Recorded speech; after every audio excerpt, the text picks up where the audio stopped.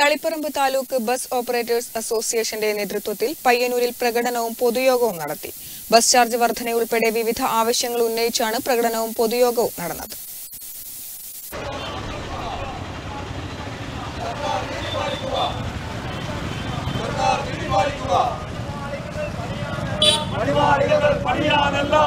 Taliparamba taluk bus operators അസോസിയേഷന്റെ നേതൃത്വത്തിൽ പെരുമ്പയിൽ നിന്നും പ്രകടനമായി പയ്യന്നൂർ പഴയ ബസ് സ്റ്റാൻഡ് പരിസരത്തെത്തി.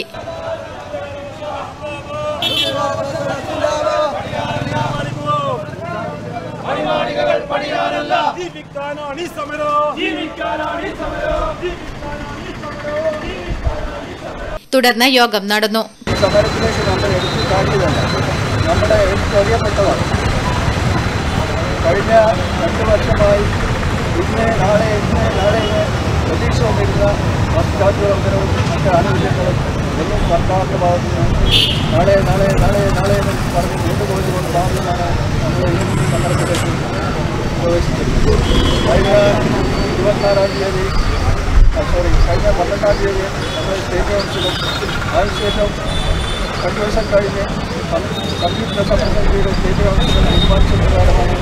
മാർച്ച് ഇരുപത്തിനാല് മുതൽ നടത്തിവരുന്ന അനിശ്ചിതകാല പണിമുടക്ക് വിജയിപ്പിക്കുക കോവിഡ് കാലത്തെ റോഡ് ടാക്സ് ഒഴിവാക്കുക പൊതുഗതാഗതത്തിന് ആവശ്യമായ ഡീസലിന് സബ്സിഡി നൽകുക വിദ്യാർത്ഥികളുടെ യാത്രാനിരക്കുൾപ്പെടെ ബസ് ചാർജ് വർദ്ധിപ്പിക്കുക തുടങ്ങിയ ആവശ്യങ്ങൾ ഉന്നയിച്ചുകൊണ്ടാണ് പ്രകടനം നടത്തിയത്. പ്രസിഡന്റ് ലത്തീഫ് അധ്യക്ഷത വഹിച്ചു.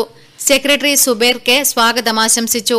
സംസ്ഥാന കമ്മിറ്റി അംഗം കെ ഗോവിന്ദൻ മുഖ്യപ്രഭാഷണം നടത്തി. Treasurer Baiju N V vice president Narayanan എന്നിവർ പ്രസംഗിച്ചു. News bureau Payyanur.